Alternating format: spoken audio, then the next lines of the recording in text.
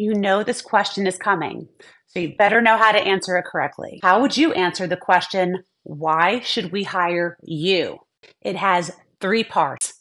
The first part of how to answer is your acknowledgement of understanding what's important to the company about achieving a certain metric is it about achieving market share or growth or sales so you want to acknowledge that you understand what is important to the employer and what their goals are the second part is sharing your skills and the skills that you have discussed or are going to discuss in the interview that align to what the job responsibility is.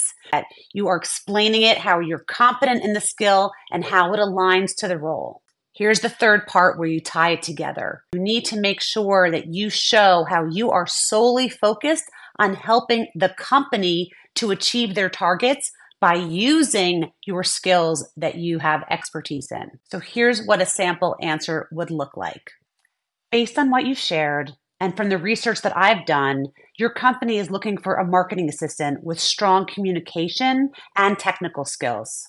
Your company is also looking to expand its marketing presence across the US. I believe that my strong communication skills, along with my background in marketing and my expertise in Adobe, will help you to achieve improving your market share as well as your marketing presence across different divisions across the US.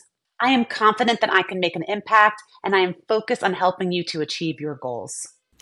Tell me in the comments, have you answered this question of why should we hire you and how did it go for you?